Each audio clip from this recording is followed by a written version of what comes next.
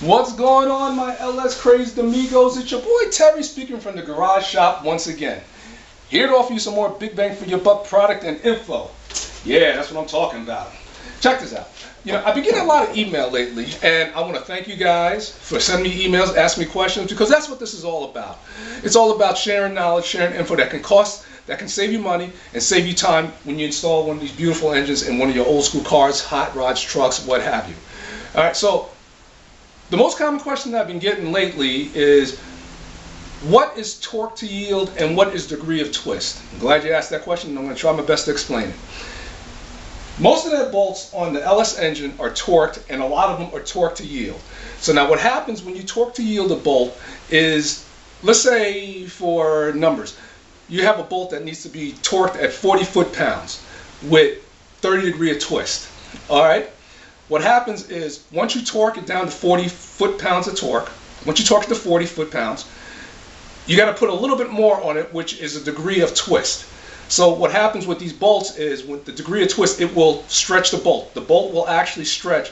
That's why with these, most of the bolts on the LS, like when you do the heads or either the cam or the crank, it's a one-shot deal. You're going to use them one time and that's it.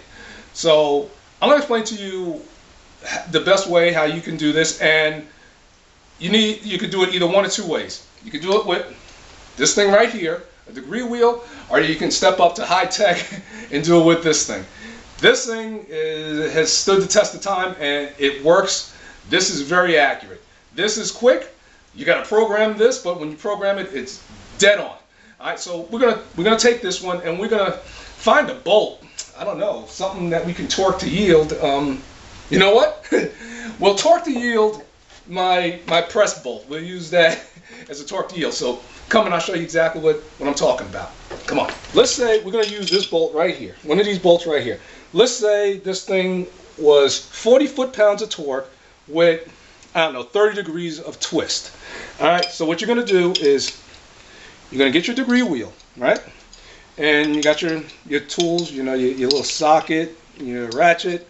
You really shouldn't use extension, but you could. I mean, if you have to, you got to do what you got to, right? So for this demonstration, I'm going to use an extension.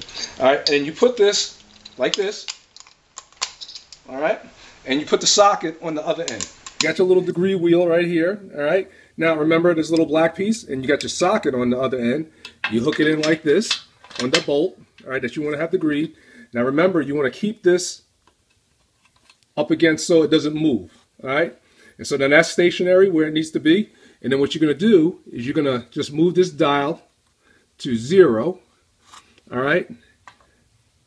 That's at zero. And then what you're going to do is here you go. Little socket goes in here. Hold on to it. All right, here we go. Now remember, you you don't want to you don't want to stop when you start. So just keep on going. And there you go. It's at 30 degrees of twist.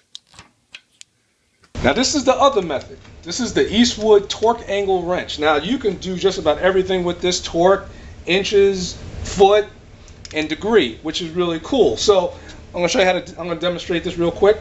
Again, let's assume we're gonna use this bolt and it's been torqued to 40 degrees. This cause this is uh you got to do a little bit of programming, which isn't hard, but you're gonna have to you know program it like foot pounds of torque and what degree you want it on. We already agreed that right here that bolt was 40 foot-pounds already torqued down and we're just going to put like 30 degrees of twist. So what's cool about this is we're going to switch it from from foot pounds to degree. You're going to get four minus symbols like that, signs like that, and just put it on the bolt and let it sit there. That's going to turn to zero. It's at zero now. And then once it's at zero, just start twisting away. And when it gets to 30, you see that?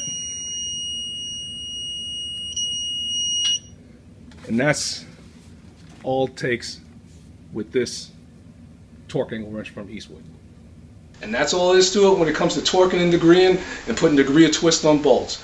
Have any more questions? Holla at your boy Terry. You know I'm going to answer those questions for you.